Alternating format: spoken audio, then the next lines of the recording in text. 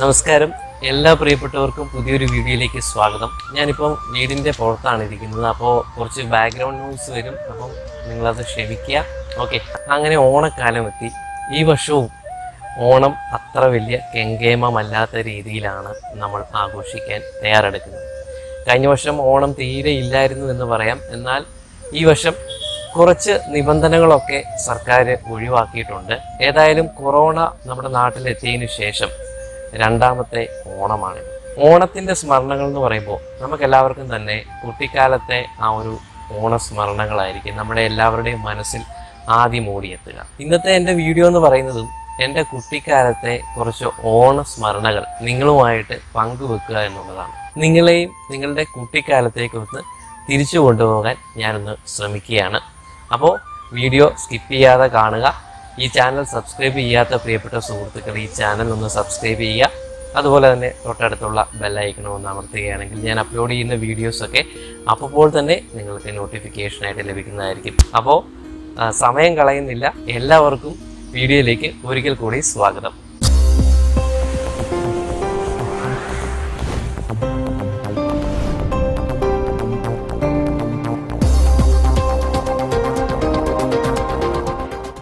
മാവേലി നാടുവാണിടും കാലം മനുഷ്യരെല്ലാവരും ഒന്നുപോലെ. നമ്മൾ ചെറുപ്പം തൊട്ടേ കേൾക്കുന്ന ഒരു പാട്ടാണിതല്ലേ? എന്നാൽ ഇപ്പോഴത്തെ കാലത്ത് ഈ പാട്ടിനോട് സാമ്യമില്ലാത്ത ഒരു ജീവിതമാണ് പ്രത്യേകിച്ച് നമ്മൾക്കൊക്കെ അല്ലേ? മനുഷ്യരെല്ലാവരും ഒന്നുപോലെ എന്നുള്ള ആ കാര്യങ്ങളൊക്കെ ഒരുപാട് മാറിപ്പോയിരിക്കുന്നു. ജാതിയുടെയും അതുപോലെ മതത്തിന്റെയും പേരിലൊക്കെയുള്ള ആ ഒരു അതിർവരമ്പുകൾ അടുത്ത കാലത്തായിട്ടൊക്കെ കൂടിയിട്ടുണ്ട്. ഓണം എന്ന് പറയുമ്പോൾ തന്നെ എല്ലാവർക്കും അറിയാം മലയാളികൾ എല്ലാവരും ഒത്തൊരുമയോടെ അത് ജാതിയുടെയും മതത്തിന്റെയും വേർതിരിവൊന്നും ഇല്ലാതെ എല്ലാ മതങ്ങളും ഒന്നിച്ച് ആഘോഷിക്കുന്ന ഒരു ഉത്സവമാണ് ഓണം എന്ന് പറയുന്നത്. എനിക്ക് ഈ ഓണക്കാലത്തെക്കുറിച്ചുള്ള ഒരു വീഡിയോ ചെയ്യുവാൻ ആലോചിച്ചപ്പോൾ തന്നെ എനിക്ക് ഭയങ്കര സന്തോഷം തോന്നി. കാരണം എന്റെ ചെറുപ്പകാലത്ത് എനിക്ക് ഏറ്റവും സന്തോഷമുള്ള സമയങ്ങളായിരുന്നു ഓണക്കാലം എന്ന് പറയുന്നത്. അന്നത്തെ ഓണക്കാലം എന്നൊക്കെ പറഞ്ഞു കഴിഞ്ഞാൽ നമുക്ക് എന്താ പറയുക നമ്മൾ ഓണം ആകുമ്പോഴത്തേന് തന്നെ ഒരു പ്രത്യേക ഒരു അറ്റ്മോസ്ഫിയറാണ് ആണ് നമ്മളുടെ നാടിന് പോലും അല്ലേ? ഇപ്പം എന്റെ ചെറുപ്പകാലം എന്ന് പറയുന്നത് തൊണ്ണൂറ് കാലഘട്ടങ്ങളൊക്കെയാണ്. ആ കാലഘട്ടങ്ങളിൽ ഓണസദ്യ എന്ന് പറയുമ്പോൾ നമുക്ക് വർഷത്തിൽ ഒരിക്കൽ മാത്രമാണ് ഈ ഓണസദ്യയൊക്കെ കിട്ടുക. അപ്പോൾ അതൊരു ഭയങ്കര ഒരു എക്സൈറ്റ്മെന്റ് ആണ്. ഇപ്പോഴത്തെ കാലത്ത് അങ്ങനെ ഒരു എക്സൈറ്റ്മെന്റ് ഇല്ല. കാരണം നമുക്കിപ്പം നല്ല സദ്യ കഴിക്കണമെങ്കിൽ ഏതെങ്കിലും ഒരു വെജിറ്റേറിയൻ ഹോട്ടലിൽ കയറി ചെന്ന് കഴിഞ്ഞാൽ എല്ലായിടത്തും അവൈലബിൾ ആണ്. ഇപ്പോഴേ ഈ കൊറോണ കാലത്തെ കാര്യമല്ല ഞാൻ പറഞ്ഞത്. അല്ലായിരുന്ന സമയങ്ങളിലാണെങ്കിലും നമുക്ക് ഓണസദ്യ എന്ന് പറയുന്നത് ഇപ്പം വലിയൊരു സംഭവമല്ല. അപ്പം നമുക്കതൊക്കെ കോമൺ ആയി വന്നിരിക്കുന്നത് കൊണ്ട് ഈ ഓണം എന്ന് പറയുന്നതിൽ ഇപ്പോഴത്തെ പുതിയ തലമുറയ്ക്കൊന്നും വലിയൊരു എക്സൈറ്റ്മെന്റ് ഇല്ല. എന്നാൽ ഈ എൺപത് തൊണ്ണൂറ് കാലഘട്ടങ്ങളിലും അതിനു മുകളിലോട്ടും ഒക്കെയുള്ള ആൾക്കാർക്ക് ഓണം ഒരു ഗ്രഹാതുരത്വം ഉണർത്തുന്ന നല്ല ഓർമ്മകൾ തന്നെയാണ്. അന്നത്തെ കാലത്തെ കുറിച്ച് ഓർക്കുകയാണെങ്കിൽ ഈ ഓണം വരുന്നതിനൊക്കെ കുറച്ച് മുന്നോടിയായിട്ട് തന്നെ വീട്ടിൽ ഊഞ്ഞാലൊക്കെ കിട്ടും. നമ്മൾ വഴിയിലൊക്കെ യാത്ര ചെയ്യുമ്പോൾ ഇങ്ങനെ നോക്കുമ്പോൾ അറിയാം വീടിന്റെ മുറ്റത്തൊക്കെ ഈ മാവിൻ കൊമ്പത്തൊക്കെ ഇങ്ങനെ ഊഞ്ഞാൽ കെട്ടി കുട്ടികളൊക്കെ ഊഞ്ഞാലാടുന്ന ഒരു കാഴ്ച അന്ന് ഓണക്കാലത്ത് വളരെ കോമൺ ആയിരുന്നു. എന്നാൽ ഇപ്പോഴത്തെ കാലത്ത് അങ്ങനെ ഊഞ്ഞാലൊന്നും കുട്ടികൾക്ക് അങ്ങനെ കെട്ടിക്കൊടുത്ത് കാണുന്നില്ല. അതുപോലെ തന്നെ ഓണവുമായിട്ട് ബന്ധപ്പെട്ടുള്ള ഈ ഊഞ്ഞാലിന്റെ കാര്യത്തെക്കുറിച്ചൊന്നും കുട്ടികൾക്ക് അത്ര അറിവുമില്ല എന്നുള്ളതാണ് സത്യം. അന്നൊക്കെ ഓണം വന്നു എന്ന് മനസ്സിലാക്കുന്നത് തന്നെ ഈ ഊഞ്ഞാൽ എവിടെയെങ്കിലുമൊക്കെ കാണുമ്പോഴാണ് ആ ഓണത്തിന്റെ വരവ് അറിയിച്ചുകൊണ്ട് ഇതൊക്കെ കാണുമ്പോഴാണ് നമുക്ക് ഓണം എത്താറായി എന്നുള്ളൊരു ചിന്തയൊക്കെ എന്റെ മനസ്സിൽ വരുന്നത്. അങ്ങനെ നമ്മൾ എവിടെയെങ്കിലും കാണുമ്പം നമ്മൾ വീട്ടിൽ പേരൻസിനോട് പറയും എനിക്ക് ഊഞ്ഞാൽ കെട്ടണമെന്ന് പറയുമ്പം അവർ ഊഞ്ഞാൽ കെട്ടിത്തരും. അതിന്റെ അടിവശത്ത് ഇരിക്കുന്ന ഭാഗത്ത് മടലൊക്കെ ചെത്തി നല്ല ഇരിക്കാനുള്ള പരുവത്തിലാക്കി തന്നു കഴിഞ്ഞാൽ പിന്നെ ഓണം തീരുന്നിടം വരെ ഒരു ഊഞ്ഞാലാട്ടത്തിന്റെ ഒരു ദിവസങ്ങളാണ് പിന്നെ അങ്ങോട്ട്. അത് ഇരുന്നുകൊണ്ടാടും ചിലപ്പം നിന്നുകൊണ്ടാടും ഊഞ്ഞാലിൽ നിന്ന് താഴെ വീണിട്ടുള്ള ഒരുപാട് സംഭവങ്ങളൊക്കെ അന്ന് ഉണ്ടായിട്ടുണ്ട്. അങ്ങനെ ഒരുപാട് നല്ല നല്ല ഓർമ്മകൾ. പിന്നെ അതുപോലെ ഓണത്തിന്റെ കാര്യം ഓർക്കുമ്പോഴത്തേന് മനസ്സിൽ വരുന്ന ഒരു സംഭവമാണ് ഓണത്തുമ്പികൾ എന്ന് പറയുന്നത്. അതും ഈ പറഞ്ഞ പോലെ ഓണ സമയമാകുമ്പോൾ ഈ ഓണത്തുമ്പികളൊക്കെ ഒരുപാട് ഇങ്ങനെ നമ്മുടെ നാട്ടിൽ കൂടെയൊക്കെ ഇങ്ങനെ പറഞ്ഞു നടക്കും. അതും ഈ ഓണത്തിന്റെ വരവ് അറിയിച്ചുകൊണ്ടുള്ള ഒരു കാഴ്ച തന്നെയാണ്. ഇപ്പോഴത്തെ കാലത്ത് ഓണത്തുമ്പികളെയൊക്കെ കാണുന്നത് തന്നെ വളരെ വിരളമാണ്. ഇപ്പോഴത്തെ പുതിയ തലമുറയ്ക്ക് ഓണത്തുമ്പി എന്താണെന്ന് അറിയത്തില്ലെങ്കിൽ ഞാൻ ഇവിടെ ഒരു സ്ക്രീനിൽ ഒരു ഫോട്ടോ കൊടുക്കാം. നിങ്ങൾക്കപ്പോൾ അത് കണ്ട് മനസ്സിലാക്കാവുന്നതാണ്. അതുപോലെ ഇപ്പോഴത്തെ കാലത്ത് ഓണത്തുമ്പിയെ കുറിച്ചൊന്നും പേരൻസ് ഒന്നും ആരും പറഞ്ഞു കൊടുക്കാറില്ല. അതുപോലെ പറഞ്ഞു കൊടുത്താൽ തന്നെ ഈ ഓണത്തുമ്പിയെ നമ്മുടെ നാട്ടിൽ കാണാനില്ല. പഴയ തലമുറക്കാർക്ക് ഇതൊക്കെ പരിചിതമായിരിക്കും. ഞാൻ അവരെ ഉദ്ദേശിച്ചല്ല പറഞ്ഞത്. എന്റെ ബാല്യകാലത്ത് ഞാൻ കൂടുതലും ഓണം ആഘോഷിച്ചിരുന്നത് അമ്മ വീട്ടിലായിരുന്നു. എന്റെ വല്യമ്മയ്ക്ക് അമ്മയുടെ അമ്മ ഞങ്ങൾ അമ്മച്ചി എന്നാണ് വിളിക്കുന്നത്. അപ്പം അമ്മച്ചിക്ക് ഭയങ്കര നിർബന്ധമായിരുന്നു എല്ലാവരും കൂടെ ഒത്തൊരുമിച്ചുകൊണ്ടുള്ള ഓണം അമ്മച്ചിക്ക് ഭയങ്കര നിർബന്ധമായിരുന്നു. അപ്പൊ ഈ ഓണത്തിന്റെ ഒരു മാസം മുമ്പ് തന്നെ അമ്മച്ചി അതിനുള്ള തയ്യാറെടുപ്പുകളൊക്കെ ചെയ്യും. അതായത് വീടും പരിസരവും എല്ലാം റെഡിയാക്കും. ആ, ഒരു പണിക്കാരനുണ്ട് പുള്ളിയെ വിളിച്ച് കയ്യാലപ്പുറവും അതുപോലെ പറമ്പും എല്ലാം അത് പുല്ല് കയറി കിടക്കുന്ന ഭാഗങ്ങളെല്ലാം നന്നായിട്ട് ക്ലീനാക്കി ഓണത്തെ വെൽക്കം ചെയ്യാൻ വേണ്ടി അമ്മച്ചി ഒരു മാസം മുമ്പ് തന്നെ തയ്യാറെടുക്കും. ഓണത്തിന് ഒരു മാസം മുമ്പ് തന്നെ വേറൊരു സംഭവം കൂടിയുണ്ട്. പിള്ളേരോണം എന്ന് പറയും. ഈ പിള്ളേരോണത്തിന്റെ അന്നും ഞങ്ങളെല്ലാവരും പ്രത്യേകിച്ച് കൊച്ചുമക്കൾ എല്ലാവരും അവിടെ ചെല്ലണമെന്നുള്ളത് അമ്മച്ചിക്ക് നിർബന്ധമുള്ള കാര്യമായിരുന്നു. ഈ പിള്ളേരോണത്തിന്റെ അന്ന് ഓണം പോലെ തന്നെ ഒരു ചെറിയ സദ്യ ഞങ്ങൾ പിള്ളേർക്ക് വേണ്ടി അമ്മച്ചി തയ്യാറാക്കുമായിരുന്നു ഓണം പോലെ തന്നെ നിലത്ത് ഇലയൊക്കെ ഇട്ടിരുന്നത് തന്നെയായിരുന്നു. ഈ പിള്ളേരോണത്തിന്റെ സദ്യ പിള്ളേരോണം എന്ന് പറയുമ്പോൾ പിള്ളേർ മാത്രമായിരിക്കില്ല ചെല്ലുന്നത്. കാരണം ഞങ്ങളൊക്കെ ചെറുതായിരുന്നപ്പോൾ ഞങ്ങളെ കൊണ്ടുവിടാൻ വേണ്ടി പേരൻസും കൂടെ വരും. അപ്പം എല്ലാ വർഷവും ശരിക്കും പറഞ്ഞാൽ രണ്ട് പ്രാവശ്യം ഞങ്ങൾ ഓണം ആഘോഷിച്ചിരുന്നു. ഈ പിള്ളേരോണം ഉൾപ്പെടെ രണ്ട് പ്രാവശ്യം ഞങ്ങൾ ഓണം ആഘോഷിച്ചിരുന്നു. ഇപ്പോഴത്തെ കുട്ടികൾക്ക് പിള്ളേരോണം എന്താണെന്ന് അറിയത്തില്ല. അപ്പൊ പിള്ളേരോണം എന്താണെന്ന് അറിയാൻ വേണമെങ്കിൽ ഞാൻ അതിന്റെ ഐതിഹ്യം ഒന്ന് പറഞ്ഞുതരാം. അതായത് ആവണി അവിട്ടം എന്നാണ് പിള്ളാരോണത്തിന് പറയുന്നത്. നമ്മുടെ തിരുവോണത്തിന്റെ ഏകദേശം ഒരു മാസം മുമ്പെയാണ് കർക്കിടകത്തിലെ തിരുവോണത്തിനാണ് ഈ പിള്ളേരോണം കൊണ്ടാടുന്നത്. മൂന്നടി മണ്ണ് ചോദിക്കാൻ വേണ്ടി മഹാവിഷ്ണു ബാലരൂപം പ്രാപിച്ചാണ് മഹാബലിയെ കാണാനെത്തിയത്. മഹാവിഷ്ണു ബാലന്റെ രൂപം പ്രാപിച്ചെത്തിയതിനെ അനുസ്മരിച്ചാണ് പിള്ളേരോണം കൊണ്ടാടുന്നത്. അതുപോലെ തന്നെ ഈ ഗ്രാൻഡ് പേരൻസിന്റെ മരണം വരെയും ഞങ്ങൾ ഓണം ആഘോഷിച്ചിരുന്നത് അമ്മ വീട്ടിലായിരുന്നു. ഗ്രാൻഡ് പേരൻസിന്റെ മരണത്തിന് ശേഷമാണ് ഞങ്ങൾ സ്വന്തം വീട്ടിൽ ഓണം ആഘോഷിക്കാൻ വേണ്ടി തുടങ്ങിയത്. അതുപോലെ ഓണത്തിന്റെ തലേ ദിവസം ഉത്രാടം. ഇത് കേൾക്കാത്ത പുതിയ തലമുറയോട് പറയുകയാണ് ഉത്രാടപ്പാച്ചിൽ എന്ന് പറഞ്ഞു കഴിഞ്ഞാൽ ഓണത്തിന്റെ തലേ ദിവസം ഉത്രാടത്തിന്റെ അന്ന് നടത്തുന്ന പാച്ചിൽ. അതായത് പിറ്റേ ദിവസത്തേക്ക് വേണ്ടിയുള്ള സാധനങ്ങളെല്ലാം വാങ്ങാൻ വേണ്ടിയുള്ള തന്ത്രപ്പാട്. ഷോപ്പിംഗ് അതുപോലെ പിറ്റേ ദിവസത്തേക്കുള്ള പച്ചക്കറി സദ്യക്ക് വേണ്ടിയുള്ള കാര്യങ്ങളെല്ലാം വാങ്ങുക. അതിനുവേണ്ടി നമ്മൾ ടൗണിലേക്കൊക്കെ പോയി പർച്ചേസ് ചെയ്യുന്നതിനെയാണ് ശരിക്കും പറഞ്ഞാൽ ഉത്രാട പാച്ചിൽ എന്ന് പറയുന്നത്. എനിക്ക് ഈ ഉത്രാടത്തിന്റെ അന്ന് പുറത്തോട്ട് ഇറങ്ങാൻ വലിയ ഒരു ഇഷ്ടമുള്ള ഒരു കാര്യമാണ്. കാരണം നല്ലൊരു ഫെസ്റ്റിവൽ മൂഡാണ് ഓണത്തിന്റെ നല്ലൊരു ഒരു ഫീൽ നമുക്ക് കിട്ടും. ഒരു മേളകളും അതുപോലെ പൂക്കള മത്സരങ്ങളും എവിടെ നോക്കിക്കഴിഞ്ഞ് കഴിഞ്ഞാൽ ഒരു നല്ല ഒരു അന്തരീക്ഷമാണ് ഈ ഓണത്തിന്റെ തലേ ദിവസം എന്ന് പറയുന്നത്. അപ്പോൾ ഈ ഓണത്തിന്റെ തലേ ദിവസം ഞാനും ഫാദറും ഒക്കെ പോയി എന്റെ വീട്ടിൽ ഓണം ആഘോഷിക്കാൻ തുടങ്ങിയതിന് ശേഷമുള്ള കാര്യമാണ് ഞാൻ പറഞ്ഞത് കേട്ടോ. അപ്പോൾ അതുവരെയുള്ള ഈ ഉത്രാടപ്പാച്ചിലിൽ നിന്നും നമ്മൾ കൈ കടത്തുകയില്ലായിരുന്നു. കാര്യം അമ്മ വീട്ടിലായതുകൊണ്ട് എല്ലാ കാര്യങ്ങളും അവിടെ ഉള്ളവരൊക്കെ ചെയ്യുമായിരുന്നു. അപ്പം നമ്മൾ നമ്മളുടെ വീട്ടിൽ ഓണം ആഘോഷിക്കാൻ തുടങ്ങിയതിന് ശേഷം ആണ് ഞാനും ഫാദറും കൂടെ ഒക്കെ പോയി സാധനങ്ങളൊക്കെ പർച്ചേസ് ചെയ്ത് എല്ലാ ഒരുക്കങ്ങളും പിറ്റേ ദിവസത്തേക്ക് വേണ്ടിയുള്ള എല്ലാ ഒരുക്കങ്ങളും നമ്മളവിടെ നടത്തും. അങ്ങനെ ഓണത്തിന്റെ ദിവസം രാവിലെ അതൊരു പ്രത്യേക ഒരു ഫീലാണ് രാവിലെ ഞാൻ എണീക്കുമ്പോഴേ അന്നും ഇന്നും ചെയ്യുന്ന ഒരു കാര്യമുണ്ട്. ഒരു സാമ്പ്രാണി കത്തിക്കും. സാമ്പ്രാണി എന്ന് പറഞ്ഞാൽ ഓണം ബ്രാൻഡ് ഒരു ഓണം എന്നാണ് ആ ഒരു സാമ്പ്രാണിയുടെ പേര് തന്നെ. അത് അന്നും ഇന്നും ഞാൻ ആ ഒരു സെയിം സാമ്പ്രാണി തന്നെയാണ് വാങ്ങുന്നത്.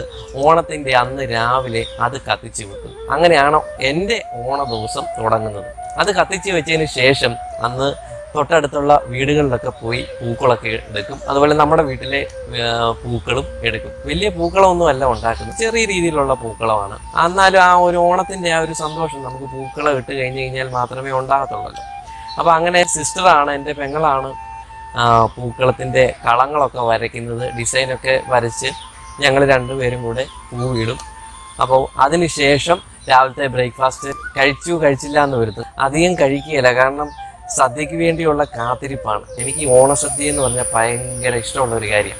അപ്പോൾ അത് നന്നായിട്ട് കഴിക്കാൻ വേണ്ടി ഞാൻ അന്ന് രാവിലത്തെ ബ്രേക്ക്ഫാസ്റ്റ് വളരെ കുറച്ചേ കഴിക്കുകയുള്ളൂ പിന്നെ ഈ ബ്രേക്ക്ഫാസ്റ്റ് കഴിച്ചതിന് ശേഷം എന്റെയും പെങ്ങളുടെയും പരിപാടി എന്ന് പറഞ്ഞു കഴിഞ്ഞാൽ ടി വിയുടെ മുമ്പിൽ ഇരുന്നുകൊണ്ട് ഈ അടുക്കളയിലേക്ക് വേണ്ടുന്ന കാര്യങ്ങളൊക്കെ ചെറിയ രീതിയിലൊക്കെ നമ്മളെ കൊണ്ട് സഹായിക്കും. അതായത് ഉള്ളിത്തുള്ളി പൊളിക്കുക സവാള പൊളിക്കുക വെളുത്തുള്ളിയുടെ തോൽ കളയുക. അങ്ങനെയൊക്കെ പരിപാടികൾ മുഴുവൻ ടി വിയുടെ മുമ്പിൽ ഇരുന്നുണ്ട് അന്ന് ഈ ദൂരദർശന്റെ കാലമാണ് ഇന്നത്തെ പോലെയുള്ള പ്രൈവറ്റ് ചാനൽസ് ഒന്നും അങ്ങനെ ഉണ്ട്. ഏഷ്യാനെറ്റും ഒക്കെ ഉണ്ട്. എന്നാൽ പോലും ദൂരദർശൻ ആ ഒരു ഓർമ്മകളിലേക്ക് പോകുമ്പോൾ ദൂരദർശൻ കാലത്തെ കുറിച്ച് ആദ്യം പറയണം. ദൂരദർശൻ മാത്രം ഉണ്ടായിരുന്ന സമയത്ത് ഈ ഓണപരിപാടികൾ മുഴുവൻ നാല് ദിവസം ഓണം ഒന്നാം ഓണം മുതൽ നാലാം ഓണം വരെയുള്ള മിക്ക പരിപാടികളും നമ്മൾ കാണും. ഒരു ആവേശത്തോടെയാണ് ആ പരിപാടികളൊക്കെ കാണുന്നത്. ഇപ്പോഴത്തെ പോലത്തെ റിലീസിന് ശേഷം ഇത്ര ദിവസത്തിനകം ടി വി വരുന്ന പരിപാടിയൊന്നും അന്നില്ല.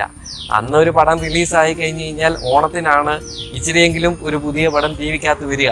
ഓണസമയങ്ങളിലൊക്കെ വരവേൽപ്പ് മേലെ പറമ്പിൽ ആൺവീട് അങ്ങനെയൊക്കെയുള്ള സിനിമകൾ ഞാൻ ഓണത്തിന് വലിയ ഒരു ആവേശത്തോടെ ഇരുന്ന് കണ്ടതൊക്കെ ഞാൻ ഇപ്പോഴും ഓർക്കുന്നുണ്ട്. അങ്ങനെ ദൂരദർശനിലെ ഓണത്തിന് സംപ്രേഷണം ചെയ്യുന്ന മിക്ക പരിപാടികളും ഈ ടി വിയുടെ മുമ്പിൽ ഇരുന്ന് കാണും.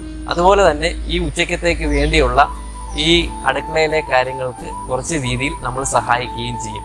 അപ്പോൾ അന്നത്തെ ഓണ പരിപാടികൾ എന്ന് പറഞ്ഞാൽ സ്പെഷ്യൽ ഓണ ചിത്രഗീതം അതുപോലെ സ്പെഷ്യൽ മലയാള സിനിമ പിന്നെ ഏതെങ്കിലും താരങ്ങളായിട്ടുള്ള ഇന്റർവ്യൂസ് ഒക്കെ കാണും. അന്ന് രാവിലെ തൊട്ട് ദൂരദർശൻ സംപ്രേഷണം തുടങ്ങും. സാധാരണ രീതിയിൽ രാവിലെ സംപ്രേഷണം ഇല്ലാത്തത്. അപ്പോൾ ഓണം സ്പെഷ്യൽ ഡേ ആയതുകൊണ്ട് ഈ നാല് ദിവസവും മിക്കപ്പോഴും പകൽ സമയത്ത് രാവിലെ ഈ മലയാളം പരിപാടികളൊക്കെ സംപ്രേഷണം കാണും. അതൊക്കെ വളരെ എന്താ പറയുക ഒരു ഉത്സാഹത്തോടെയാണ് കണ്ടുകൊണ്ടിരുന്നത് കാരണം ഇപ്പോഴത്തെ കാലത്ത് നമ്മുടെ ടി വിയിലൊക്കെ മിക്കപ്പോഴും പുതിയ പടങ്ങളും ഒക്കെ ഉള്ളതുകൊണ്ട് ആ ഒരു എക്സൈറ്റ്മെന്റ് ഇല്ല. പക്ഷെ അന്ന് അങ്ങനെയല്ല. നമ്മൾ ഇച്ചിരി പഴയ പടമാണേലും കംപ്ലീറ്റ് ഇരുന്ന് കാണും ആസ്വദിക്കും. കാരണം ഇന്നത്തെ പോലെ ആ ഒരു ഓപ്ഷൻ ഇല്ല. അന്നത്തെ പരസ്യങ്ങൾ പോലും കണ്ടിരിക്കാൻ ഭയങ്കര രസമാണ്. അടുത്തത് എനിക്ക് ഏറ്റവും ഇഷ്ടപ്പെട്ട സദ്യയുടെ ആ ഒരു സമയമാവും നിലത്ത് പായൊക്കെ ഇട്ട് ഇലയിൽ വിഭവ സമൃദ്ധമായിട്ടുള്ള ഫുഡാണ് അപ്പോൾ അത് കഴിച്ചതിന് ശേഷം പായസമൊക്കെ കുടിച്ച് കഴിയുമ്പോഴത്തേന് ക്ഷീണമായിരിക്കും. ആ ക്ഷീണം മാറാൻ വേണ്ടി നമുക്ക് കിടക്കാനൊക്കെ തോന്നും പക്ഷേ കിടക്കുകയില്ല. എന്നാണെന്നറിയോ തിരുവോണത്തിന്റെ ആ ഒരു ഉച്ച സമയത്തായിരിക്കും. അതായത് പുതിയ സിനിമ. പുതിയ സിനിമ എന്ന് പറഞ്ഞാൽ ഞാൻ പറഞ്ഞല്ലോ ഒരു വർഷം മുമ്പെങ്കിലും റിലീസ് ചെയ്ത സിനിമയായിരിക്കും ഓണത്തിന് വരുന്നത്. അതാണ് അക്കാലത്തെ പുതിയ സിനിമ എന്ന് പറയുന്നത്. അത് കാണുക എന്നുള്ളതായിരിക്കും അടുത്ത പരിപാടി. കാരണം ആഹാരം കഴിച്ചതിന് ശേഷം ഉച്ച കഴിഞ്ഞ് കിടന്ന് ഉറങ്ങിക്കഴിഞ്ഞാൽ ഈ പരിപാടിയൊന്നും കാണാൻ പറ്റുകയില്ല. അങ്ങനെ ഉറക്കം പോലും മാറ്റിവെച്ച് നമ്മൾ ടി വിക്ക് മുമ്പിലിരിക്കും. അങ്ങനെ തിരുവോണം വൈകുന്നേരം കഴിയുമ്പോഴത്തേനും ഒരു ചെറിയ വിഷമം. ഓണം കഴിഞ്ഞു പോയല്ലോ എന്ന് ഓർത്തൊരു വിഷമം. അന്ന് വൈകുന്നേരവും ഈ പറഞ്ഞ പോലെ ഇലയിലൊക്കെ ആയിരിക്കും സദ്യ. അത് പക്ഷേ നിലത്തായിരിക്കും ഇല മേശപ്പുറത്താണെന്ന് മാത്രം. ആ ഉച്ചയ്ക്കായിരിക്കും നിലത്ത് സദ്യ. പക്ഷേ വൈകുന്നേരം കിടക്കുമ്പോൾ ഒരു മനസ്സിലൊരു വിങ്ങൽ ഓണം കഴിഞ്ഞല്ലോ ഇനിയിപ്പം ഒരു വർഷത്തേക്ക് കാത്തിരിക്കേണ്ടി വരുമല്ലോ. എന്നാലും ഒരു ആശ്വാസമുണ്ട്. എന്നറിയോ മൂന്നാം ഓണവും നാലാം ഓണവും വരാൻ കിടക്കുന്നു. നാല് ഓണം കഴിഞ്ഞ് കഴിഞ്ഞാൽ മാവേലി നമ്മുടെ നാട്ടിൽ നിന്ന് പോകുള്ളൂ. അപ്പൊ തിരുവോണത്തിന്റെ അന്നും ചെറിയൊരു ആശ്വാസവും. നാലാം ഓണം ആകുമ്പോഴത്തേനാണ് ആ ഒരു വിഷമം മനസ്സിലുണ്ടാകുന്നത്. ഓണം കഴിഞ്ഞു പോയല്ലോ. ഇനിയും അടുത്ത ഒരു വർഷത്തേക്കുള്ള കാത്തിരിപ്പ്. അങ്ങനെ നല്ല നല്ല മധുര സ്മരണകളാണ് എനിക്ക് എന്റെ കുട്ടിക്കാലത്തെ ഓണം. എന്നാൽ കാലങ്ങൾ കഴിഞ്ഞു വർഷങ്ങൾ മുന്നോട്ട് പോയി. ഇപ്പോൾ ഈ ഓണം എന്ന് പറയുന്നത് സന്തോഷമാണെങ്കിലും പഴയ ആ ഒരു സന്തോഷം ഇപ്പോഴത്തെ കാലത്തെ ഓണത്തിനില്ല പ്രത്യേകിച്ച് കഴിഞ്ഞ വർഷം ഒട്ടുമില്ലായിരുന്നു. ഓണം കൊറോണ കൊണ്ടുപോയി. ഈ വർഷമാണെങ്കിലും കൊറോണയുടെ ആ ഒരു ഭീഷണി കൂടി നിൽക്കുകയാണ്. പക്ഷേ കഴിഞ്ഞ വർഷത്തെ പോലെ നിയന്ത്രണങ്ങൾ ഇത്തവണ ഇല്ല എന്നുള്ളൊരു ആശ്വാസം എന്ന് പറയാൻ പറ്റില്ല. ആ ഒരു നിയന്ത്രണങ്ങൾ അല്പം കുറഞ്ഞിട്ടുണ്ട്. പണ്ടത്തെ പോലെ ഞാൻ പറഞ്ഞില്ല ഓണത്തിന് ആ ഒരു ഒരു ഫീൽ എനിക്ക് കിട്ടുന്നില്ല. എനിക്കറിയത്തില്ല ബാക്കിയുള്ളവരുടെ കാര്യം. പണ്ടത്തെ ആ ഒരു കുട്ടിക്കാലത്തെ ആ ഒരു ഓണം എൺപതുകളിലെയും തൊണ്ണൂറുകളിലെയും ഒക്കെ ആ ഒരു ഫീൽ സത്യം പറഞ്ഞു കഴിഞ്ഞാൽ എനിക്ക് കിട്ടുന്നില്ല. അതെന്താണെന്ന് എനിക്കറിയില്ല. അപ്പോൾ ഇത്രയാണ് എന്റെ ഓണവിശേഷങ്ങൾ. പറയാനാണേ ഒരുപാട് കാര്യങ്ങളുണ്ട് പറയാൻ. അപ്പോൾ നിങ്ങളെ വെറുതെ ബോറടിപ്പിക്കണ്ട എന്ന് കരുതിയാണ് ഞാൻ ഇത്രയേലും വെട്ടിച്ചുരുക്കുന്നത്. പക്ഷേ എനിക്കിതൊരു സന്തോഷമാണ് ശരിക്കും പറഞ്ഞു കഴിഞ്ഞാൽ ഇത് പറയുന്നത് തന്നെ ഒരു സന്തോഷമാണ്. പഴയ കാലത്തെ ഓർമ്മകളെക്കുറിച്ച് പ്രത്യേകിച്ച് ഓർമ്മകളെ കുറിച്ച് പറയുന്നത് തന്നെ എനിക്കൊരു സന്തോഷം. അപ്പം ഞാൻ എന്റെ ഒരു സന്തോഷത്തിന് വേണ്ടിയാണ് ഈ ഒരു വീഡിയോ ചെയ്തത്. നിങ്ങൾക്ക് ഇഷ്ടമാവോ ഇല്ലയോ എന്നൊന്നും എനിക്കറിയില്ല. എനിവേ നിങ്ങൾക്ക് ഇഷ്ടമായെങ്കിൽ ലൈക്ക് ചെയ്യുക. അതുപോലെ നിങ്ങളുടെയൊക്കെ ഓണ സ്മരണകളും കമൻസിലൂടെ നിങ്ങൾക്ക് പങ്കുവെക്കാം. അന്നത്തെ കാലത്തെ എന്തെങ്കിലും ഞാൻ എനിക്കറിയാത്ത കാര്യങ്ങൾ എന്തെങ്കിലും അന്നത്തെ കാലത്ത് ഉണ്ടായിരുന്നോ അല്ലെങ്കിൽ ഞാൻ പറയാൻ വിട്ടുപോയിട്ടുള്ള ഒരുപാട് കാര്യങ്ങൾ പറയാൻ വിട്ടുപോയിട്ടുണ്ട്. അപ്പോൾ എന്തെങ്കിലും ഉണ്ടെങ്കിൽ അത് നിങ്ങൾക്ക് ഒന്ന് ഓർമ്മിപ്പിക്കാവുന്നതാണ്. അതുപോലെ തന്നെ ഞാൻ പെട്ടെന്ന് ഓർമ്മിക്കുന്നത് അന്ന് നമ്മുടെ നാട്ടിലെ ക്ലബ്ബുകളൊക്കെ ഉണ്ടായിരുന്നു. ഇപ്പോൾ ക്ലബ്ബുകളൊക്കെ എല്ലാം പൂട്ടിപ്പോയി. മിക്കതും ക്ലബ്ബുകളൊന്നും ഇല്ല. ആ ക്ലബ്ബുകളിൽ വടംവലി മത്സരം പൂക്കള മത്സരം അങ്ങനെയൊക്കെ ഒരുപാട്. അതുപോലെ സ്കൂളിലും കോളേജിലും ഒക്കെയുള്ള ഓണാഘോഷ പരിപാടികളൊക്കെ ഉണ്ട്. അതും നല്ല ഓർമ്മകളാണ്.